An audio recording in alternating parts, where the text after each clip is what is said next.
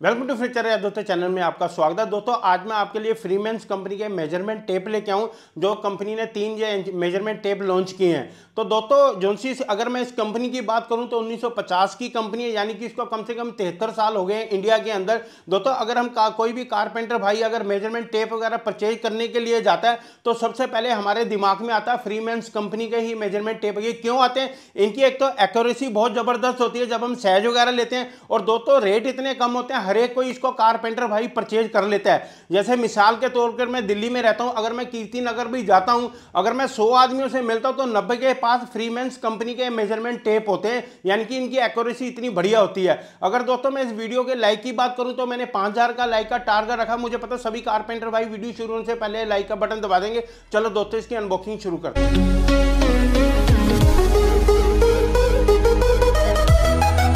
तो ये इनकी अनबॉक्सिंग शुरू करते हैं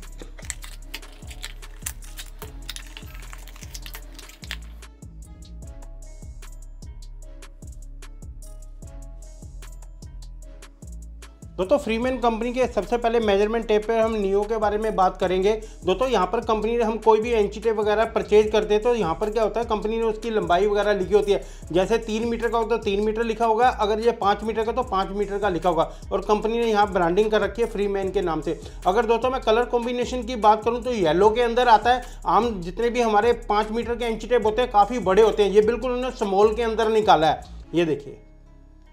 ये बिल्कुल स्मॉल के अंदर है। दोस्तों अगर मैं, मैं इसकी बात करें तो टू ज़ीरो हुक इसको हम बोलते हैं तो एक एम mm के करीब मोटी होती है। सबसे ज़्यादा अगर मेज़रमेंट में रोल होता है तो इस चीज़ का होता है। अगर इसकी एक्यूरेसी सही नहीं होगी तो कभी भी हमारी मेज़रमेंट ठीक नहीं होगी। कभी भी मेज़रमेंट वगैरह करते हैं, ये देखो हुक आगे पीछे हमारी जाती है। यानी कि ये एक एम mm के करीब है, एक एम mm आगे जाएगी और एक एम mm के करीब पीछे आएगी। जिसके साथ क्या होता है, हमारा जो सा मेज़रमेंट साइज़ होता है, बिल्कुल एक्यूरेसी से होता है, बिल्कुल ज़ीरो ज़ीरो होता है। अगर मैं दोस्तों, इसके रिवन की बात करूँ तो रिवन कितने एम का करीब है? नहीं तो आम एंची टेप में रिवन आता है, पंद्रह या सोलह एम के करीब आता है। इसके अंदर रिवन आता है, हमारा उन्नीस एम के करीब। उन्नीस एम का क्यों है? जब भी इसकी एक तो स्ट्रेंथ काफ़ी, यानी कि हैवी ड्यूटी हो जाती है। अगर आप देखो तो इसके अंदर ये स्टेट नहीं है, ये डी के अंदर है। जितना भी कर्व होगा, यानी कि इसके अंदर पावर बहुत ज़्यादा आ जाती है। अगर मैं दोस्तों इसकी नंबरिंग की बात करूँ तो आम एनजीटीएम में नंबरिंग क्या होती है? बिल्कुल हल्के हल्के अक्षरों में दी होती है। तो इसके अंदर क्या बड़े बड़े अक्षरों में दी होती है, जैसे हमारी उम्र के हिसाब से, यानी कि चालीस पैंतालीस साल की उम्र में हमें छोटे अक्षर दिखते नहीं है तो इसके अंदर कंपनियाँ बड़े बड़े बड़े अक्षर इसके अंदर दे रखे हैं। ये देखिए आप। दोस्तों कई भाई इसको ब्लेड या इसको रिवन बोल देते हैं। मैं भी इसको दोनों में से कुछ भी बोल देता हूँ। मैं चलो इसको ब्लेड बोल देता हूँ। दोस्तों अगर ब्लेड की कोटिंग की बात करें तो इस पर ड्यूरो कोटिंग की होती है। यानी कि अगर आपका कोई भी एंची टेप तीन महीने चलता है, ये आपका कम से कम एक साल चलेगा। एक साल क्यों चलेगा? क्योंकि इसके ऊपर ड्यूरो कोटिंग होती है। उसका मतलब क्या होता है? कई बार क्या होता है? हमारे यहाँ से ना, हमारे फिंगर लग लग के यहाँ से ना ये निशान मेज़रमेंट यहाँ से मिट जाता है। तो इससे मिटेगा नहीं, काफ़ी लॉन्ग टाइम तक चलेगा। दोस्तों अगर मैं इसकी प्रिंटिंग की बात करूँ तो लेजर प्रिंटिंग की होती है। यानी कि इसकी एक्यूरेसी बिल्कुल ज़ीरो ज़ीरो आती है। अगर दोस्तों ये देखो स्टॉप का बटन है, अगर मैंने इसको ऐसे कर दिया, ये अंदर चलेगा। अब मैंने कहीं भी मेज़रमेंट वगैरह करनी है तो मैं इसको स्टॉप कर सकता हूँ, ये देखो। तो इस तरीके से मैं कर सकता हूँ। और दोस्तों, अगर मैंने फिंगर के साथ भी इसको करना है, नीचे के साथ मैं फिंगर के साथ भी इसको ऐसे ऐसे जितना भी मुझे ज़रूरत पड़ती है, मैं इसको कर सकता हूँ। ये देखो जैसे ये मैंने किया है।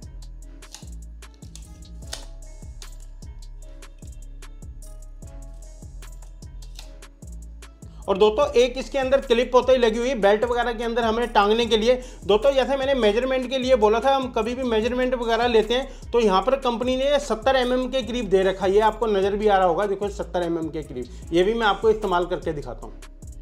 दोस्तों, जो जो हमारा मेज़रमेंट टेप का साइज़ है, सत्तर एम mm के करीब है। ये हमें बहुत ज़्यादा सहूलत देता है नापने के लिए। हम किस तरीके से, जैसे हम विंडो वगैरह का साइज़ लेते हैं, या तो हम एंची टेप को इस तरीके से बैंड कर देते हैं, यानी कि आधा से पौना सूत के करीब हमारे साइज़ में फ़र्क पड़ जाता है। कोई भी हमारा पीस वगैरह एकोरेसी से तैयार नहीं होता फर्नीचर का। तो हमने क्या करना है?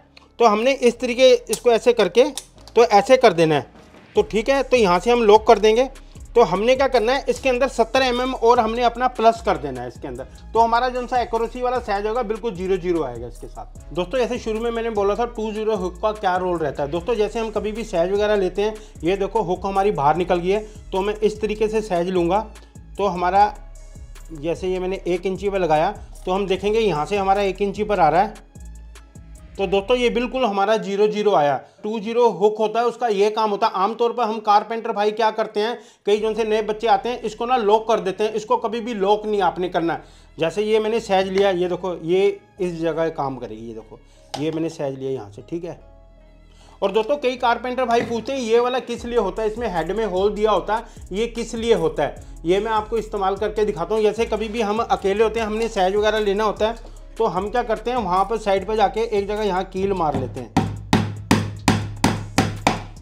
जैसे कोई हमारे साथ दूसरा आदमी नहीं है तो हम क्या करेंगे, ये देखो, ये इसके अंदर आ गई, ये हेड इसके अंदर आ गया ठीक है? तो हमें कभी भी अगर साइज़ वगैरह लेना है तो हमने ऐसे कर दिया। तो यहाँ से हम लॉक कर देंगे। तो बड़ी आसानी से हम लोग क्या करते हैं, अपना साइज़ अकेला ही आदमी बड़ी आसानी से लगा लेता है। यानी कि दूसरे आदमी को पकड़ने की ज़रूरत नहीं रहती। तो इसका ये होता है। और दोस्तों, नीचे जो सा कट दिया होता है, ये किस लिए दिया होता है? ये कल को हमें कोई भी निशान वगैरह लगाना है, जैसे साइज़ के लिए तो हम क्या करेंगे, इस तरीके से करके निशान लगा सकते हैं। ये देखिए। ये इसलिए होता है, यानी कि ये देखो निशान लग गया, आपको नज़र आ रहा होगा। ये मैं आपको बिल्कुल पास से करके दिखाता हूँ। ये देखो। दोस्तों, इस मेजर टेप के बारे में मैंने आपको सब कुछ बता दिया, अब हम दूसरे वाले की बात करेंगे। दोस्तों सेकंड हमारा मेज़रमेंट टेप है ऑटो फ्लेक्स के नाम से आता है, और ये भी पाँच मीटर का है। दोस्तों, अगर मैं इसके कलर कॉम्बिनेशन की बात करूँ तो यहाँ पर इन्होंने व्हाइट और यहाँ पर इन्होंने ऑरेंज कलर दे रखा है तो ब्लैक कलर का स्टॉप का बटन है। तो दोस्तों, इसके फ़ंक्शन भी वैसे सेम है, जैसे पहले वाले के थे, इसके अंदर क्या होता है, हमें ऑटो लॉक मिल जाता है यहाँ पर। कभी भी हमें जैसे ब्लेड वगैरह हमें बाहर निकालना है तो हमने क्या करना नीचे की तरफ़ पुश कर देना ब्लेड को इस तरीके से निकालना हमें बाहर। दोस्तों, कई कारपेंटर भाई क्या करते हैं, इसको पुश नहीं करते, इसको ऐसे निकालते हैं। ऐसे निकालने से क्या होता है, ये हमारा ब्लेड खराब हो जाएगा हमारा। तो कभी भी करना नीचे की तरफ़ पुश कर देना ऐसे। और देखो, अपने आप ऑटो लॉक हो गया। ये निकाल, अपने आप लॉक हो गया। ठीक है, ये देखो, अब मैं ऐसा, ये देखो। ये इस तरीके से हो जाएगा, ठीक है? ये इसका, और दोस्तों ये अनब्रेकेबल है, ये देखो, कल को गिर भी जाता है डैमेज नहीं होगा, ये देखो। ये देखो, अगर मैं इसकी प्राइस की बात करूँ, ये साठ रुपये का है। दोस्तों थर्ड वाला मेज़रमेंट हमारा जो सा टेप है, इसका नाम है प्रोटेक्ट और दोस्तों, इसके अंदर क्या खासियत है? बाकी सारी चीज़ें सेम है, जैसे आपको यहाँ पर भी इन्होंने मेंशन कर रखा है, पाँच मीटर के करीब जो खुलता है। और दोस्तों, उन्नीस एम mm क्या है? उन्नीस एम mm इसका ये ब्लेड का साइज़ होता है, जो कंपनी ने मेंशन कर रखा है। और दोस्तों, इसके अंदर हमें एक पोज बटन मिलता है, नीचे की तरफ़ जैसा ये आप देख रहे हो, ये पोज बटन है तो हम फिंगर के साथ इसको कंट्रोल कर सकते हैं। ये देखो। फिंगर के साथ। अगर दोस्तों हमें हमें लॉक करना है, जैसे हमें कोई साइज़ लेना तो हम क्या करेंगे, इसके साथ इसको लॉक कर देंगे, ये लॉक हो गया। अगर दोस्तों मैं इसके कलर कॉम्बिनेशन की बात करूँ तो रेड और ब्लैक के अंदर सबसे यानी कि स्मार्ट वाला मुझे यही नज़र आया, मुझे ये सबसे बढ़िया लगा। तो इसके साथ एक क्लिप होता है, जो हम बेल्ट के साथ इसको अटैच कर लेते हैं। दोस्तों अगर इसकी प्राइस की बात करूँ तो प्राइस इसका सौ के और सत्तर के बीच में हमें ये मिल जाएगा बड़ी आसानी से।